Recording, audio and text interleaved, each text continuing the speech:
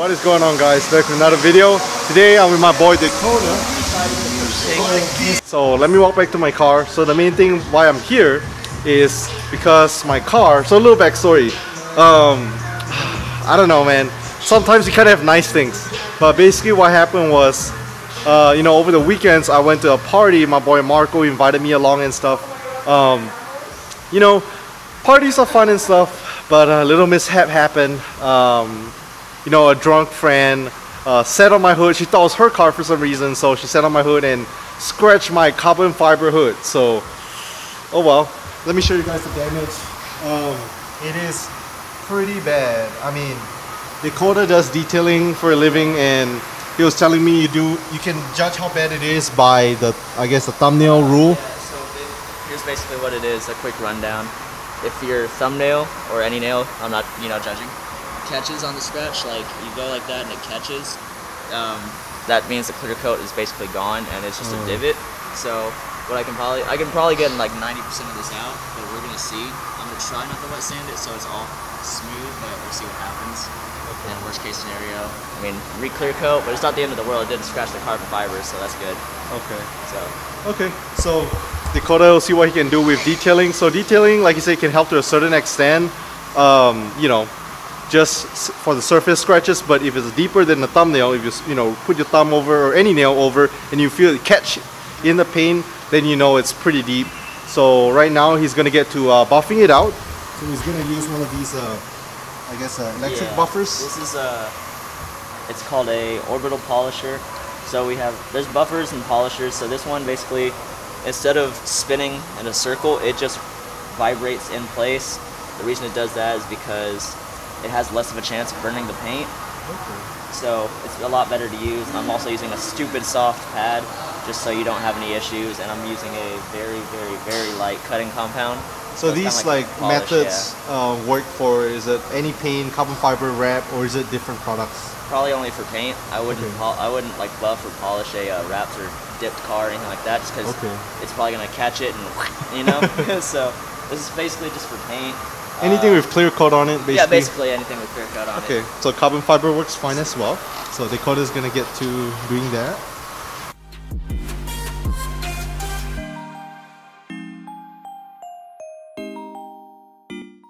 Tell it's the daytime. This is the next day after my buddy Dakota helped me to uh, buff down and polish my hood.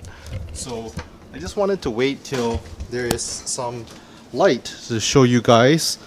Dakota tried his best, you know, without cutting into the compound. So it's kind of hard to see on camera uh, right there. But you can actually still see the scratch marks. Some of you guys might think like, oh, it's a small scratch, no biggie.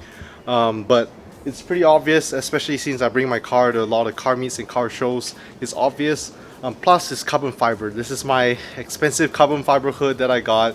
It really pains me to see it like that. So next best thing to do is I had to get it re-clear coated, meaning getting the hood uh, you know, clear coated over again. So basically, clear coat is like a transparent layer of, I guess you want to call it like a coating. Um, so yeah, they'll protect it from you know the UV rays, protect it from scratches and all that good stuff. So uh, I was at Guicho's shop earlier, so I got some of my car parts painted at Guicho's shop a while back. So I hit them up again. So I'll be dropping off my car in a few days to get my hood re-clear coated. Um, I wasn't sure if I could just do a portion or get the entire hood, but they say I had to get the entire hood re-clear coated. So that's what I'm doing. Also, there's a small little surprise. While I'm there, I decided to get them to help me to install another car part. I believe I am the first uh, Lancer owner to do this.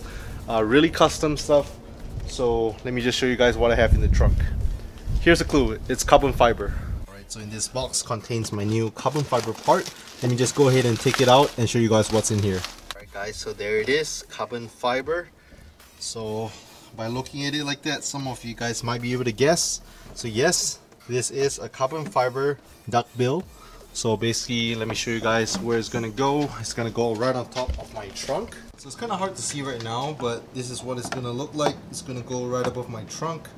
Um, drilling will be needed. So I know some of you guys are wondering, I already have this wing on it, you know. why am I putting an additional duckbill or am I to remove that wing and add the duckbill?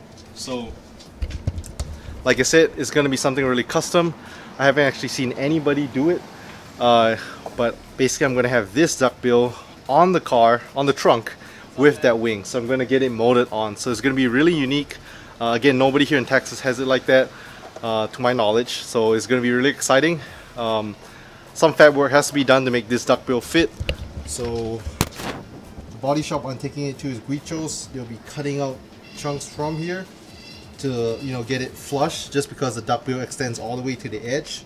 So like I say, I am no master or pro at doing all these body shop fab work so definitely I trust the body shop with my car. Uh, they painted my wing a while back. They painted Marco's wing painted Marco's white body. So uh, I'm gonna go back to them. So what I'm gonna do is uh, just wait a couple days. Whenever I drop the car off at the shop I'm just gonna take you guys along. There's some really cool cars. I was there earlier um, just to speak to the owners and actually I saw a couple cool cars. There was a R32 GTR with the R34 front end being put on there's a 280Z Datsun as well as a RX-7 that they're working on so some pretty cool cars Alright, what is going on guys? So today I'll be picking up my car a few days ago I dropped it off at Guicho's body shop. Uh, I didn't actually get to film because I didn't bring the camera. Uh, but your boy is feeling a little sick today. So uh, pardon me if my facial expression looks kind of like gloomy and stuff. But yeah, my boy Marco. Big thanks to him. He, uh, whenever I dropped my car off, you know, I needed a car to pick me up, send me home. He was there and then today whenever I'm dropping my car off, he's here again today. So you guys might have noticed something different about the car and that is these headlights so same headlights but um, for as long as I knew Marco pretty much the headlights were like in the uh, neochrome wrap so it really stood out a lot so right before you know this car show season Marco decided to take it off. So yeah really really different look right now. I decided that too. So just reach over here at Guicho's and again like I said Marco's 370Z is over there. And any of you guys in the Austin area want to get some body work done paint all that stuff check out Guicho's yeah so Marco got quite a few stuff painted here as well as myself um, Marco's white body was painted here and my wing was painted here his wing was painted here so they do a good job so I didn't quite tell you guys why I'm here but um, you know a few days back you know, whenever the scratches were on the hood, I brought it to the Dakota and you guys saw he tried to buff it out and polish it, but it didn't quite work. So it needed to be really clear coated. So that's why I brought it here to Guicho's to get that done. Also, while I'm here, I decided to get some other, you know, custom work done. So let me show you guys. Dang, this looks so nice. Okay, so as you can see, my wing is gone. Not for long, but look at this carbon fiber duckbill now. Oh, looking so nice. So I want you guys to let me know in the comment section below you like it or you don't like it. Do you like the wing more? Do you like the duckbill more? But that's not all. There's another surprise for you guys in a little bit.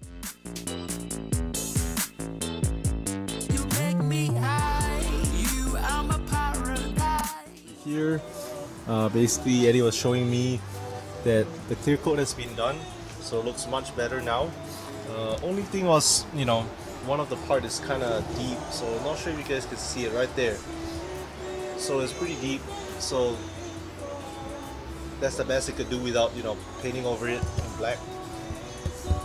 So yeah all in all pretty much done. Looks way better. Like I said just that mini scratch um, not, nothing much can be done uh, he's gonna go ahead and set it down again in a little bit. And you know everything should be done on the hood. Looks way better than before. That's what I came here for. And then also the duckbill looks so nice. So that's a surprise for you guys. Um, I am not gonna rock just a duckbill so you guys will stay tuned and see. Uh, they're getting something else painted to be put on it. So I'm really stoked as well. And while I'm here let me just show you guys ooh, another car that they're working on. The RX-7 is so nice. Just check out this FD RX-7 so nice so when I came here a few days back the whole car was pretty much bare bones. The wing has just been put on. Um, white body just been put on. Doors just been put on. Hood just been put on. So a bunch of stuff. Um, they're still getting to painting the front bumper right now but this thing looks so mean so nice. So yeah love the FDRX7 Um, still has the 13B rotary engine in there, so looks really clean.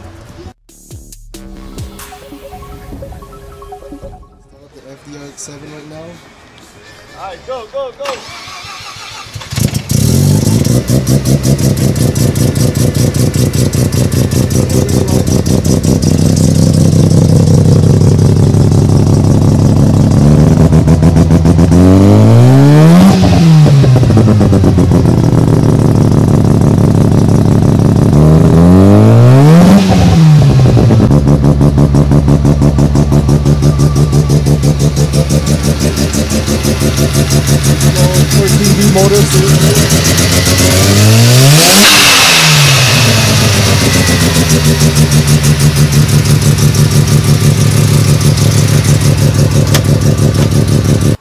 Here, they move out the car. So, saw this a few days back too. This is the R32 GTR.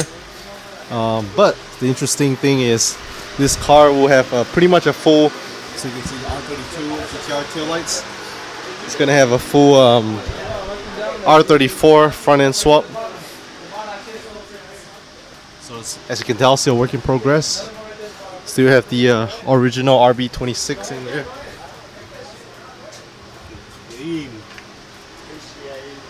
Over here we have a WRX that's going to be worked on.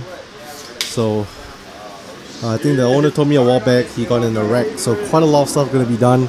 Some over fenders, um, you know, a bunch of body work. The cool thing is these exhaust tips on the WRX is actually off R35 GTR. So R35 GTR tips. Uh, this whole back quarter panel is pretty much custom, much wider as you can tell some uh, T37s, Volk Racing T37 SLs are going on, so it's gonna look really dope when it's done. Um, but right now, the uh, oh, he's gonna show some parts that's going on the GTR. All four of these, bro. Brand new. Brand new. Big brake package or what? You'll see right now, bro. Oh, what the fuck? These brake rotors are crazy. Big Brembo brake kit. This looks huge.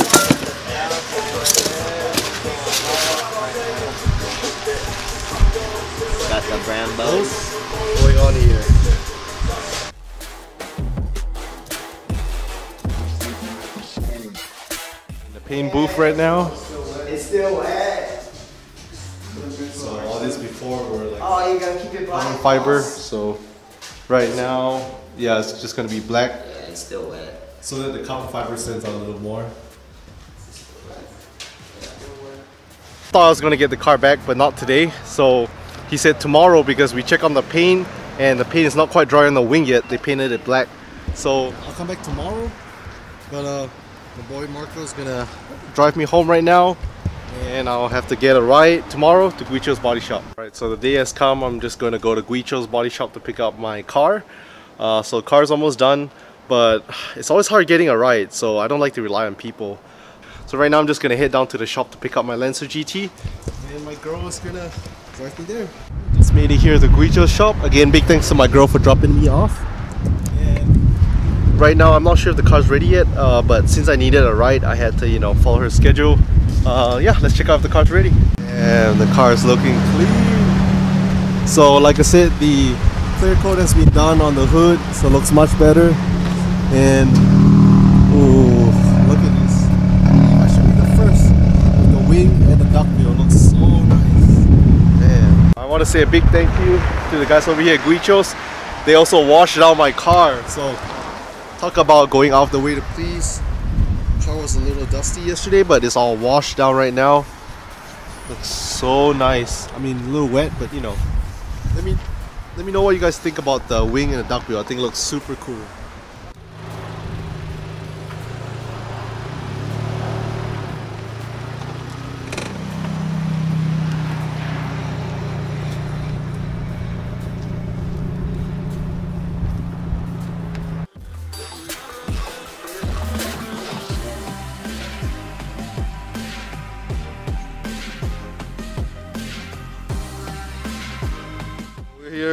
Yesterday checking out the car. RX-7 is back in the shop. This thing's looking so clean. So check it out. We have the uh, RE Amemiya from bumper, not painted yet. but the hood from the front it really does look like a Viper. So aggressive. And then the headlights, instead of the flip-up headlights, they also change it to the flat ones, the RE Amemiya style. So it looks so aggressive. So it's just mocking it up right now to show me how it's gonna look. Uh, big shout out to Guichos for working on my Mitsubishi Lancer GT. So quick recap what I got done. I'm back home right now. They went ahead and uh, you know pretty much took out the scratches from the hood. This is just dirt right here. Clear coated the whole hood. Carbon fiber is looking so good. And we also got this custom thing done. So that little duck bill over there. Carbon fiber duck bill. Yeah, and then like I said, they also went the extra mile to wash down my entire car and wipe it down. And car looks squeaky clean right now. You can see like the purple flakes pop in the sunlight. So big shout out to Guichos, big thank you. Um, yeah, leave a thumbs up if you liked the video, subscribe if you haven't, and stay tuned for more mods on this car as car show season comes around. Catch you guys in the next video.